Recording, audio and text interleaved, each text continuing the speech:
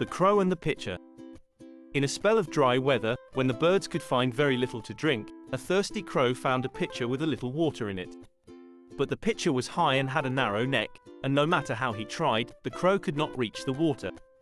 The poor thing felt as if he must die of thirst. Then an idea came to him. Picking up some small pebbles, he dropped them into the pitcher one by one.